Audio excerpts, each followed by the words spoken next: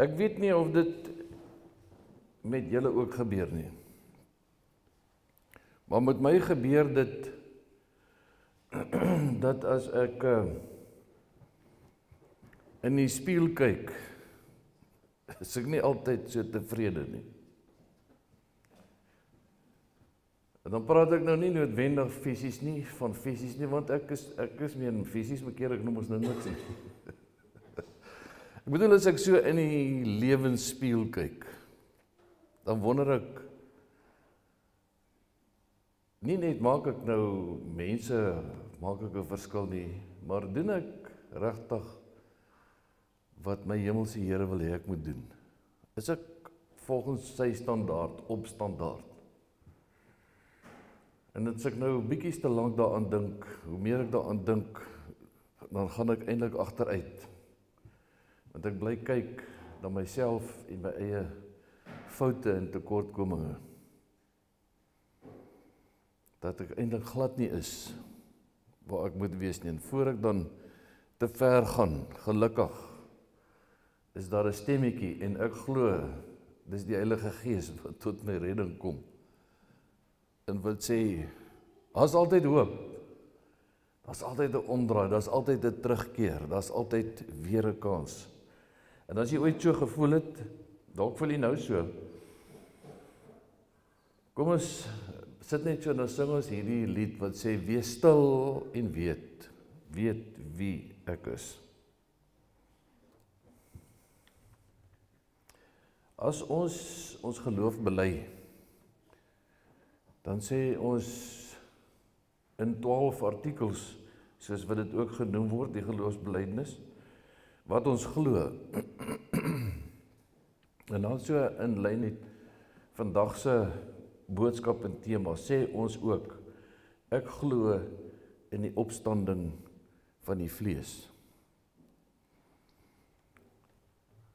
Dit is daar was 'n omstredenheid oor hierdie artikel.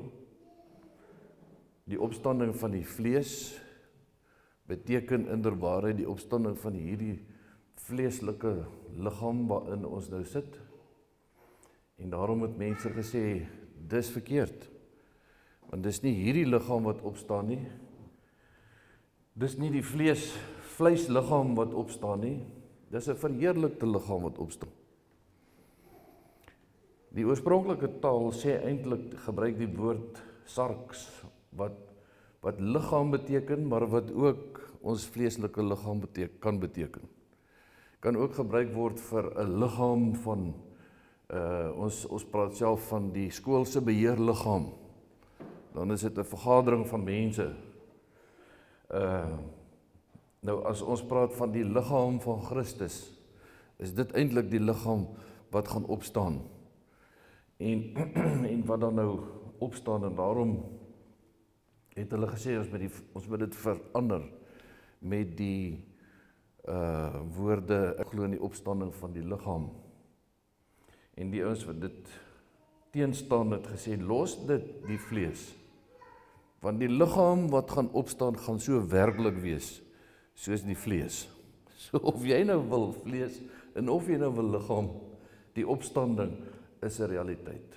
Die opstanding en die lewe met Christus en daarom kan ons daaroor juig. Kom ons staan en ons juig daaroor met 'n lied wat sê ek is vrygemaak. Johannes 11 is in die gedrang van môre in ons versier of is dit in die Here se versier maar voordat ons lees kom ons bid saam Here U het ons vrygemaak sodat ons hierdie boek kan oopmaak. Vrygemaak sodat ons na U kan opkyk met 'n verwagting. U het ons vrygemaak, Here, dat ons nie kan lewe en nie kan kyk na die wêreld, nie kan kyk na onsself en nie kan verstaan waar die sin van die lewe is, waar U dit bedoel en waar U dit plaas en waar U ons plaas. Here, en dit is waar ons hoekom ons hier is met so 'n verwagting dat U juis dit vir ons sal wys. Waar ons op pad is en dalk nie altyd weet waarheen nie of nie altyd voel of ons weet nie, vra ons Here dat U hierdie padkaart vir ons vandag sal kom duidelik maak dat U ons GPS weer sal kom instel, sal kom reroute en ons op die regte pad sit. Kom Here, werk U deur U Gees in elkeen van ons se harte in Jesus naam. Amen. Toe Jesus daar kom, het hy gevind dat Lazarus al 4 dae in die graf was. Ons ken mos nou hierdie verhaal. Hy is baie bekend. Die voorafgaande van vers 1 af uh het hulle Jesus laat kom. Hy was in Jerusalem. Betanië is te voet seker so 4 ure van Jerusalem af, net buitekant Jerusalem. En uh hulle het hom laat kom en hy het ehm um, 4 dae gevat om te gaan. So toe hy daar aankom het hy gevind dat Lazarus al 4 dae in die graf was. Betanië was naby Jerusalem omtrent 3 km. Uh en baie van die Jode het na Martha en Maria toe gekom om hulle oor hulle broer te troos. Toe Martha hoor dat Jesus kom, het sy hom tegemoet gegaan, maar Maria het in die huis bly sit. Martha sê toe vir Jesus: "Here, as U hier was, sou my broer nie gesterwe het nie. Maar selfs nou weet ek dat God U alles sal gee wat U van hom vra." Jesus sê toe vir haar: Jou broer sal uit die dood opstaan. Maar Martha sê vir hom: Ek weet hy sal met die opstanding op die laaste dag uit die dood opstaan. Toe sê Jesus vir haar: Ek is die opstanding en die lewe. Wie in my glo sal lewe al sterwe hy ook. En elkeen wat wat lewe en in my glo sal in alle ewigheid nooit sterwe nie. Glo jy dit? Ja, Here, sê sy vir hom. Ek glo vas dat U die Christus is, die seun van God, die een wat na die wêreld toe moes kom. Nadat sy dit gesê het, het sy haar suster Maria gaan roep en saggies vir haar gesê: "Ons leermeester is hier en hy roep jou." Toe sy dit hoor, het sy gou opgestaan en na hom toe gegaan. Jesus het nog nie in die dorp aangekom nie, maar was nog op die plek waar Martha hom ontmoet het. Toe die Jode wat by Maria in die huis was en haar vertroos het, sien dat sy vinnig opstaan en uitgaan, het hulle agter haar aangegaan omdat hulle gedink het sy gaan na die graf toe om daar te huil. Toe Martha daar aan Maria daar aankom waar Jesus was en hom sien, het sy by sy voete gekniel en vir hom sê: "Here, as U hier was, sou my broer nie gesterf het nie." Toe Jesus sien dat Maria huil, en dat die Jode wat saam met haar daar aangekom het ook huil het sy gemoed vol geskiet en was hy aangedaan. Hy vat toe. Waar het julle hom begrawe? Hulle het vir hom gesê Here kom kyk. Jesus het gehuil. Die Jode sê toe kyk hoe lief het hy hom gehad. Party van hulle het ook gesê kon hy wat die oë van die blinde man genees het nie ook gemaak het dat hierdie man nie sterwe nie. Jesus se gemoed het weer vol geskiet toe hy by die graf kom. Dit was 'n rotsgraf en daar was 'n klip voor die ingang. En Jesus sê toe: "Rol die klip weg." Maar Martha, die suster van die oorledene, sê vir hom: "Here, hy ruik al." Want dit is al die 4de dag. Jesus sê toe vir haar: "Het ek nie vir jou gesê as jy glo, sal jy die openbaring van die wonderbaarlike mag van God sien nie?" Hulle het die klip weggerol en Jesus het opgekyk boontoe en gesê: "Vader, ek dank U dat U my verhoor het. Ek weet dat U my altyd verhoor." Maar ek sê dit ter wille van die mense wat hier rondom my staan sodat hulle kan glo dat U my gestuur het. Nadat hy dit gesê het, roep hy met 'n harde stem: "Lazarus, kom uit." Die oorledene het uitgekom.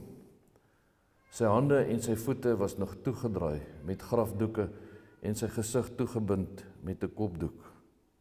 Jesus sê toe vir die mense: "Maak hom los dat hy kan huis toe gaan." Vir baie lank het ek uh, gewonder as die dominee in die erediens die wet lees, die wet van uh, Eksodus 20 En hy kom met die gedeelte van die sewende dag wat ons moet rus. Dan wonder ek oor hierdie 6de en sewende dag ding want ek het tog al leer dat eintlik is die sewende dag, die Sabbatdag is die is Saterdag en die sewende dis die sewende dag Sondag is die eerste dag. En totdat ek op Paasnaweek geleer het dat die groot dit is wat die groot verandering gekom het op Paas Sondag het dit gebeur. Jesus se opstanding het op Paas Sondag op die Sondag plaasgevind. En dis toe wat die kerk wat sy volgelinge Sondag begin vier het as die dag van die Here want dit is die dag wat die wêreld verander het. Nou in hierdie vertelling van die opwekking van Lazarus, soos ek net nou verwys het van vers 1 af al leer Jesus ons iets meer van die opstanding voor sy eie opstanding. Dis nog rukkie voor die kruis. As Jesus voor Lazarus se graf kom staan, dan word die graf hierdie simbool van van doodsheid, van koudheid, van hardheid, van daai ewigheid van die dood. Maar hy kom staan voor hierdie doodsheid, kom staan hy as 'n as 'n magtige soldaat, as 'n oorwinnaar. En ons ken hierdie verhaal. Ons ken dit baie goed, maar ek dink nie altyd ons besef wat regtig alles hier gebeur het nie. Onthou die storie met die vermeerdering van die brode. Ons lees so dat Jesus die visse en die broodjies meer gemaak het in hierdie wonderlike wonderwerk en dat hy hierdie duisende mense kos gegee het, gegee het met 5 broodjies en 2 visse. Maar die wonderwerk verblind ons van dit waarna toe dit eintlik oploop en dit is tot by die ek is uitspraak wat sê ek is die brood van die lewe. Julle wonder oor broodjies, ag oor oor 'n maaltyd. Maar julle mis die punt. Ek is die brood van die lewe en hier kan net dieselfde ding gebeur. Ons is baie begaan oor uh Lazarus wat uit die dood uit op. Hy was al 4 dae dood. Uh en dis die wonderlikste wonderwerk dat hy uit die dood uit opgewek is. Maar ons mis dit dat dit eintlik gaan om ons te vertel julle wonder oor Lazarus wat dood is. Die dood is ook in my beheer. Ek wek vir Lazarus op. Maar dis nie die belangrikste, die belangrikste is die ewigdurende feit is dat ek is die opstanding. So eintlik is die broodjies en die visse so klein teenoor dit wat hy eintlik wil sê ek is die brood. Lazarus se opwekking is so klein teenoor dit wat hy eintlik wil sê. Hy praat van Lazarus asof hy slaap. Toe hy nog nog nie eers daar was nie. Maar die disippels wil nie hy moet Betanië toe gaan nie. Want Betanië se mense hou nie van hom nie. Hulle is hulle daar's mense wat hom wil stenig tot ou as jy nou daai eerste helfte van die hoofstuk lees. Ou Thomas sê nou ja. Ons gaan saam. Al moet ons nou saam sterf, dan gaan ons nou maar saam. maar dis nie hierdie brawe les is nie wat Jesus hom wil leer nie. Die les is baie baie groter. Kom ons kyk veral na na vyf belangrike elemente in in die uh, in die verhaal. Jesus sê in vers 25 vir mense wat reeds glo, Martha wat reeds glo in die opstanding na die dood, vra hy vir haar of sy glo. Niemand net dat hy gaan opstaan nie, maar 'n pertinente vraag dat hy die opstanding is, glo jy dit? Ek dink nie Martha weet wat sy moet glo nie want daai die eerste ding wat hy sê is ek is die opstanding lank voor sy eie opstanding En soos die ander ek is uitsprake beteken dit dat ons nou reeds met die opstanding in 'n verhouding kan lewe. Ons kan nou reeds 'n opstandingslewe lei. Ons staan nie eendag op na ons dood eers nie. Ons staan op in 'n nuwe lewe die oomblik as ek met Jesus in 'n verhouding tree. Dan lewe ek reeds en dan is die opstandingslewe reeds tot my beskikking. Waarom is dit so hartseer as 'n mens verknop raak in jou eie verdriet en gemors en foute? Staan op. Die tweede ding wat hy wat ons hier sien is hy werk nie op sy eie nie. Hy vra vir hulle waar sy begrawe. En hy vereenselwig hulle absoluut met sy leed. Dis nie ag, dis sommer niks nie, kom ek wys julle gou-gou. Maak gou die saakie reg. Hy verstaan hulle pyn en hy hy huil saam met hulle. En daarna maak hy hulle deel van die oorwinning. Hy sê wag wag wag wag kom kom staan nou net 'n bietjie nader. Ons ons gaan nou hierdie ding doen. Rol wat weg die klip. Maak oop die graf. Hy maak hulle onmiddellik deel van hierdie oorwinningstog gee vir hulle ietsie om te doen. En dan huiwer hulle. As hulle dan huiwer, dan sê hy, "Waar is julle geloof?" Hy lê weer die klem op hulle geloof.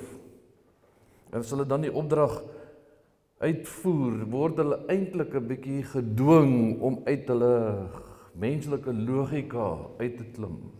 Somstyds om dalk selfs 'n bietjie van 'n gek van jouself te maak. Geloof is 'n vreemde ding in hierdie wêreld. Maar nou ja, voordat jy naasten by enigsins iets konstruktief in hierdie lewe kan doen, moet jy opstaan. Weet julle dit? Dis die belangrikste ding wat jy in die dag kan doen. Is om op op te staan. Dis hoekom dit so moeilik is. Dis dis 'n moeilike saak. My ou boet was nie 'n oggendmens nie. Hy of sal ek sê, hy was ook nie 'n oggendmens nie. En toe sit hy eendag so op die kant van sy bed nadat hy net al vrug opgekom het en hy sê: "Ek moet ook al ewig self in alleen opstaan." Nou dit is waar jy moet self en alleen opstaan as jy iets wil gaan doen om in beweging te kom. Moet jy opstaan. Dalk besef ons eers hoe belangrike aksie dit is as jy dit vir een of ander rede nie kan doen nie. As jy dalk siek is. Staan op. Daar's iets om te doen. Dit is 'n geloofsaak. Ek weet nog nie presies wat moet ek doen nie, maar staan net minstens op en begin beweeg.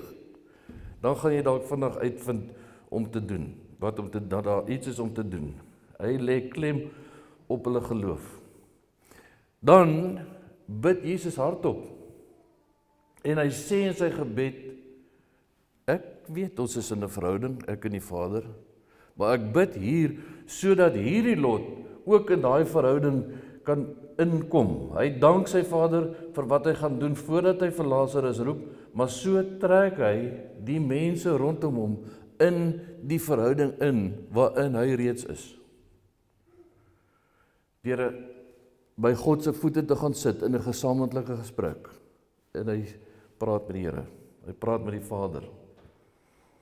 Dan as Lazarus opstaan dan dan is hy nog steeds toegedraai. Dink nie hy kan hy kan mooi sien nie. Lazarus weet self nie wat met hom gebeur nie. Dan gee Jesus weer die opdrag vir die omstanders. Nou, nou wat staan julle en kyk? Maak die man los. Ek kom sien hy sukkel. Maak hom oop. Draai oop. Hulle word deel gemaak van die dis soos om 'n geskenk oop te maak. Hulle word deel, maak oop die geskenk. Maak oop vir Lazarus. Maak hom help met sy vrymaak proses. Lazarus se opwekking is nie die opstanding nie. Ek weet nie wanneer nie, ek lees dit nêrens nie, maar vermoedelik is ou Lazarus ergens op 'n stadium toe nou tog maar dood. Want hy's nie meer hier rond nie. Lazarus is toe dood. Nie daai dag nie, later, maar ons lees nie daarvan nie. Lazarus se opstanding is nie die opstanding nie. Dit is 'n demonstrasie om te wys wie is die opstanding. Kyk mooi wat gebeur. Alhoewel Jesus die genesing doen, gebruik hy mense. Hy begin deur te sê ek is die opstanding. Hy betrek hulle by sy aksie. Rolweg die klip. Kom ons kom ons hanteer hierdie saak. Ons doen dit saam. Rolweg die klip. Beklemtoon hulle geloof. Hierdie is nie maar net nie, dis 'n geloofsaak, dis 'n verhoudingssaak, dis 'n pad saam met die Vader. Ek trek julle in daai verhouding. Hy bemagtig hulle deur saam te bid en hy benut hulle in die losmaak van Lazarus proses. Jesus sê vir sy kerk: Maak los die lydende wêreld. Julle verstaan nou die opstanding. Julle lewe 'n opstandingslewe. Julle lewe mos met my in 'n verhouding. Maak los die lydende wêreld. Die die geloofsgemeenskap moet die Lasarusse gaan wakker maak. So kry ons deel aan die opstandingskrag. En dit is die betekenis van kerk wees. Dis ons roeping, dis ons las, dis ons opdrag, dis ons taak. Hy het vir ons die tools gegee. Al die gereedskap wat nodig is.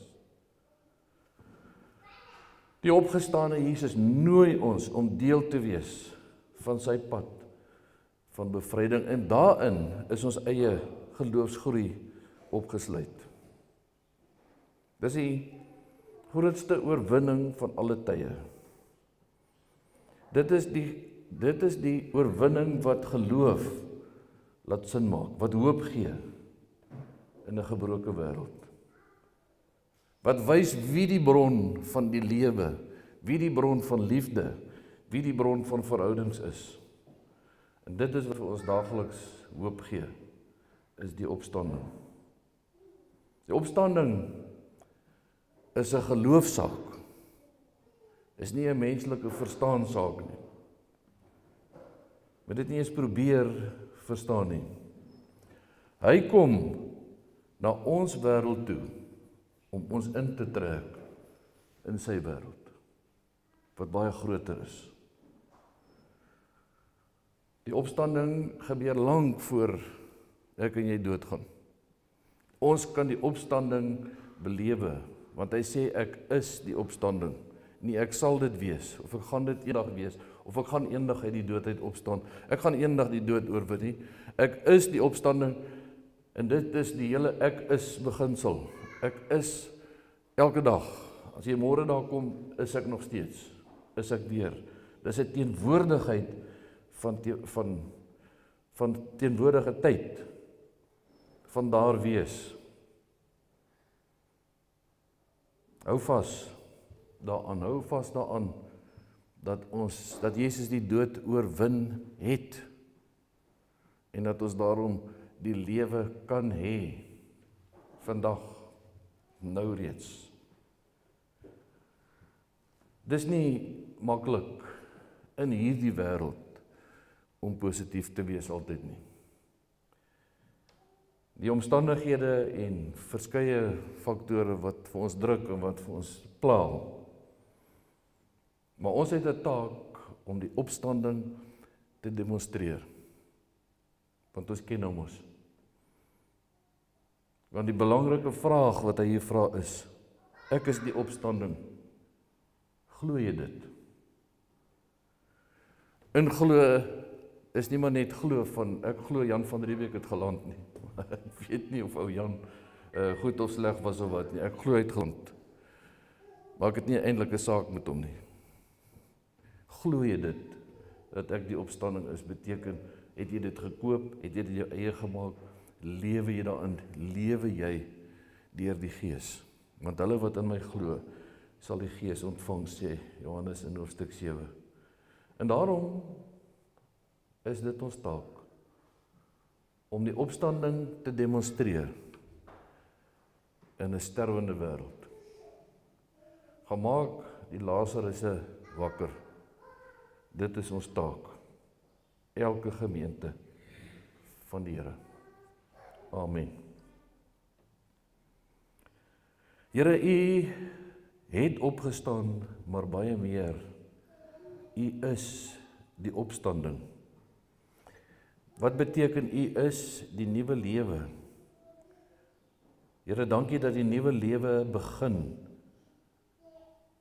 as ons in u teenwoordigheid kom, as ons as ons besef dat u lankal ons hand gevat het. Dat u met ons op pad is.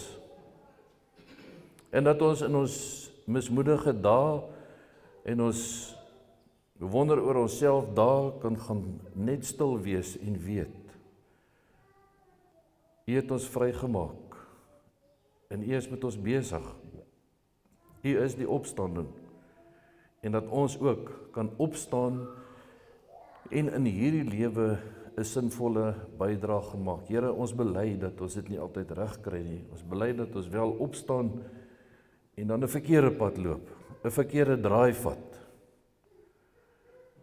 Dankie Here dat ons ook hierdie GPS kan reroute terug na U toe. Terug na U pad toe. Dit is so groot voorreg, Here, ons kan dit nie eers meet nie. Want U is die opstanding en as ons verkeerd loop, is U nog steeds. Ons kan net terugkom.